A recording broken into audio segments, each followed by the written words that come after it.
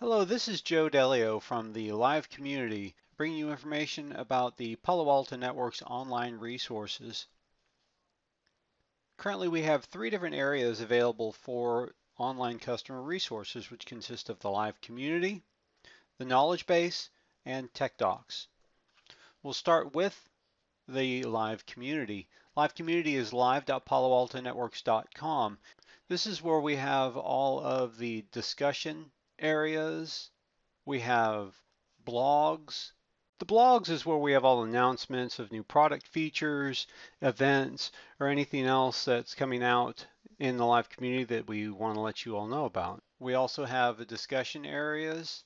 The discussion areas where you can sit and ask 140,000 registered live community members any questions about a very about any and all of our solutions from just general topics, Prisma Access, Endpoint, Global Protect, custom signatures, you name it.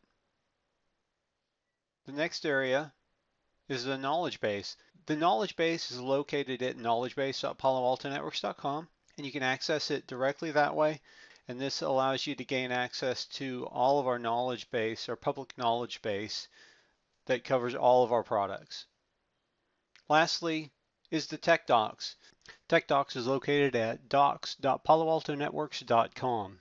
This is where all of our technical documentation sits, everything from best practices to admin guides to be able to help you implement and configure any and all of our network product solutions. This is part of the Customer Support Resources Made Simple video series. Next up should be the tour of the live community.